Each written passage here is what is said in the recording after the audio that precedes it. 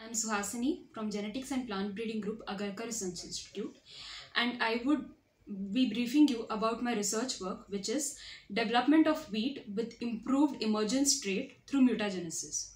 As we all know, wheat is an important fruit grain in our day-to-day life. Therefore, increase in wheat productivity is a prime objective in wheat improvement program. Under rice wheat cropping system in the northwestern plains zones, about 23 million rice residues are burnt annually.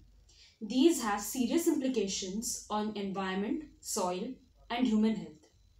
Present Indian wheat cultivars have the semi-dwarfing gene RST1 and RST2 which are not suitable for stubble retained conditions due to their short coleoptile and poor seedling vigor. These genes are also incompatible with early and deeper sowing required to access residual soil moisture in dry environments. Thus, new wheat varieties need to be developed for such conditions. This can be achieved by using alternative dwarfing genes with effect more restricted to stem elongation. In ARI, we are inducing mutations in gibberellin biosynthesis pathway and the detection is done by TILLING protocol. Pure seeds of durum cultivar Bijaga yellow were mutagenized with EMS to obtain a mutant population.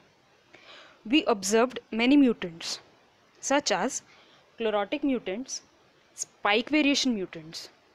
In spike variants, we had spikes with black awns, supernumerary spikelets, spikelet modified to leaf, clubhead spikelets, and spikes that have become small when compared to the wild type wheat. Other variations that we can see are variation in grain length and grain width. At the genetic level, we can detect the mutants by knowing the shift in the nucleotide. This we have done using real-time PCR machine PCR Match. Here, the melting temperature of the mutants and the wild type are compared to each other. If there is a shift in the melting temperature, then it is considered to be a mutant and such DNA are sequenced to know the exact point of nucleotide mutation. Here, in these chromatograms, we can find change in the nucleotide. The substitution in the nucleotide of DNA leads to corresponding substitution of amino acid in the protein. These changes may or may not affect the protein function.